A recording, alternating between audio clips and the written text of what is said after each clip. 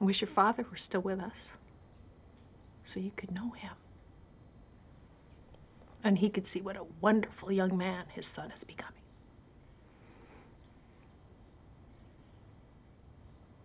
But he's gone, Jeremy.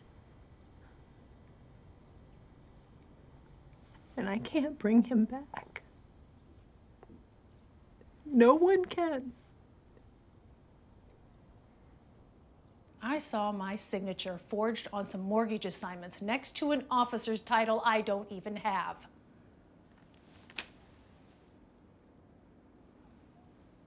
My resignation. I waited till everybody had gone home so as to not create a big scene. Someday, when it's meant to be, you, you're gonna meet the perfect girl that's gonna love and care for you exactly as you are. You'll see. How is anyone else ever going to? Jeremy, I don't know why or how you are the way you are, but I do know this.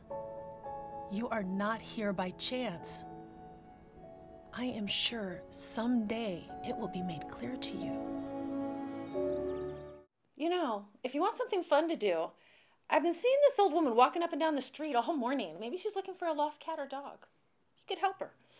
Hey, there's peanut butter and jelly in the fridge, and our phone number is on that in case you need to call us or there's an emergency or something, okay? And we'll see you at 7 for dinner tonight. I think these are old actors.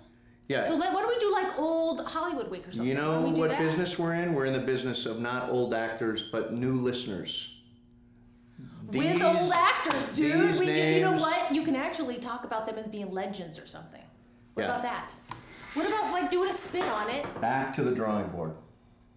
No. You made, a friend? Yeah, she uh needed it today. She. Oh, is she cute?